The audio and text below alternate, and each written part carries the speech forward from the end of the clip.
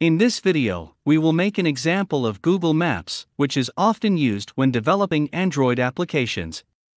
If you watch the whole video, you will be able to easily add Google Maps to your Android mobile applications. Before starting the project, you can support us by following the Turtle Code YouTube channel and other social media accounts. We created empty projects in other videos of the playlist. In this video, create a Google Map project as we will make a Google Map application.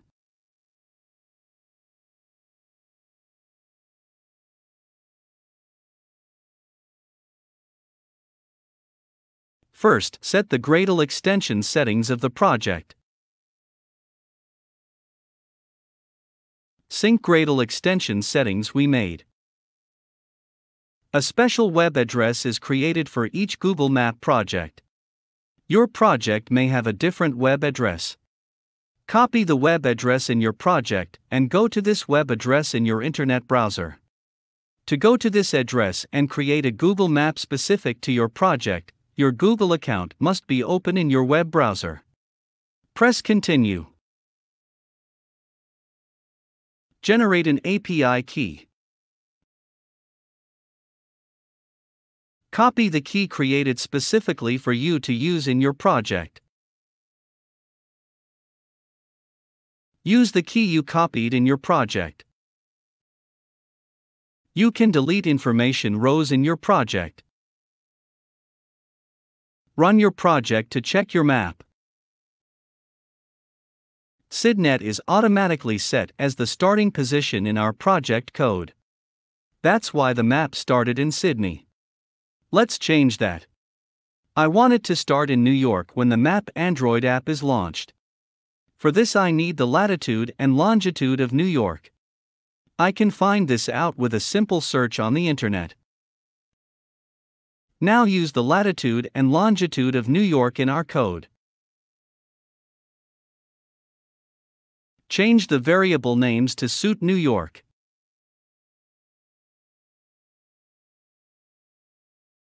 Run the program. As you can see, the map starting position is New York instead of Sydney. When the map starts, let's add the zoom feature and get closer to New York. We can use the zoom function for this. Sets the zoom setting to 15f and float data type. You can try different numbers like 10, 12. Generally, the zoom settings of the maps are 15f when developing mobile applications, Let's run it again and check if the zoom function works. As you can see, we have changed the starting position and zoom settings of the map using the latitude, longitude, and zoom properties. Let's create a Google Map Android application by improving what we have learned. Delete previous application codes. Define the two variables that we will launch later for the Google Android application in your code file.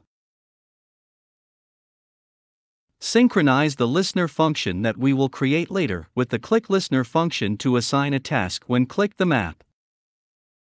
To start later, set the location manager variable we defined as location service. Likewise, create an object function with the location listener variable we defined.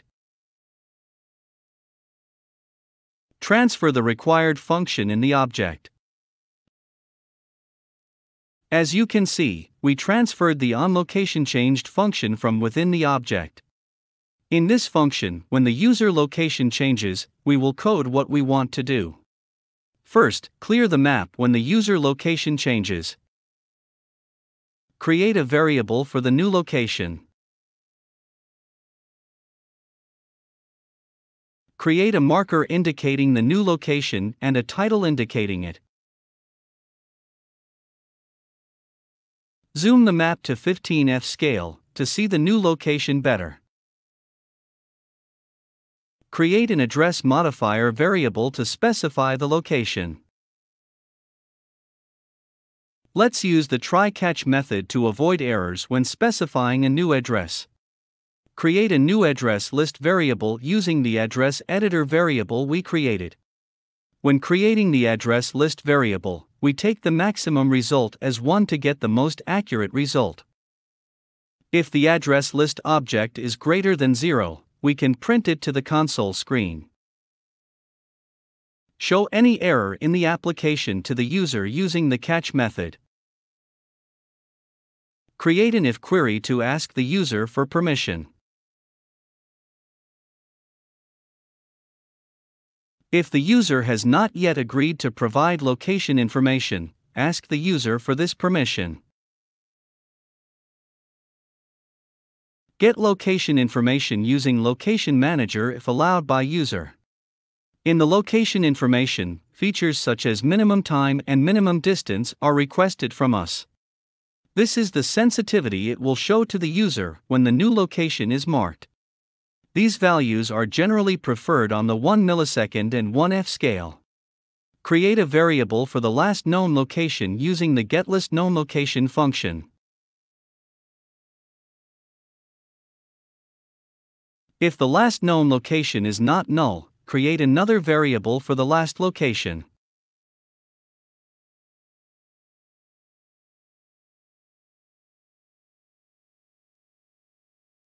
Create a marker for the last known location and a title that indicates it. As we did before, zoom in on the map at 15f scale to get a better view of the location. We use the manifest folder in our project file to request any permissions from the user. When starting the project, instead of an empty project, we created a Google Maps project so the location permission from the user should be automatically added to the manifest file. Create the permission result function to create an action when the user is granted access to the user location information.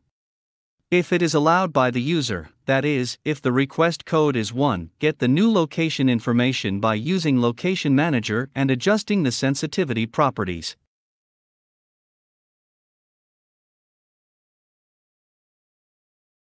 Notice that after the request code if query, we do two more similar if queries. These if queries have a similar structure and are made to avoid errors. Create an object to give a task when clicking on the new location on the map. Add the function inside the object.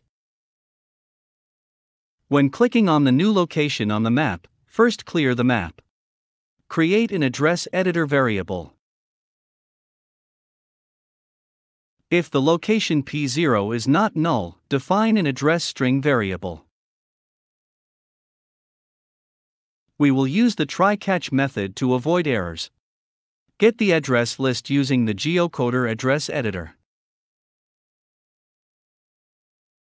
Take the maximum result as 1 to avoid errors. If the address list is not null and the address list street name is not null, add the street name of the address to the address string. Also add the street number to the address string if the address list is not null.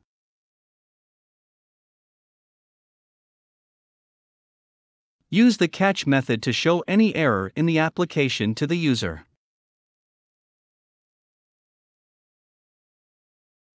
Add a marker indicating the new location and add the address string to its header.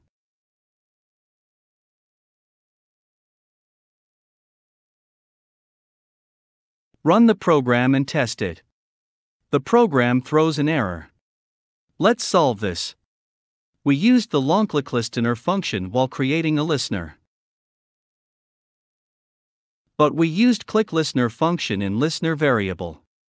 It gives an error because these two functions are not the same. Let's fix this.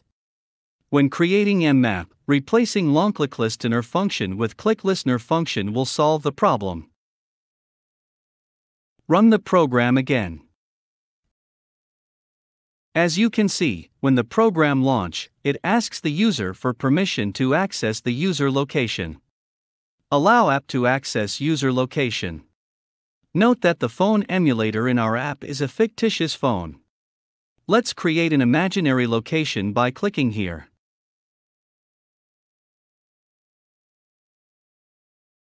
I created Brooklyn as an imaginary location in the Map Searches section in the Location section. Click the Set Location button and create the location. Run the program again. When you run the program, your map will start at the imaginary location. Let's click on the location we want to go. Click on the marker and then click on the Directions tab. Directions will be prepared for you automatically. In addition, you can learn your user location information with the address string we created by going to the Logcat tab in the project.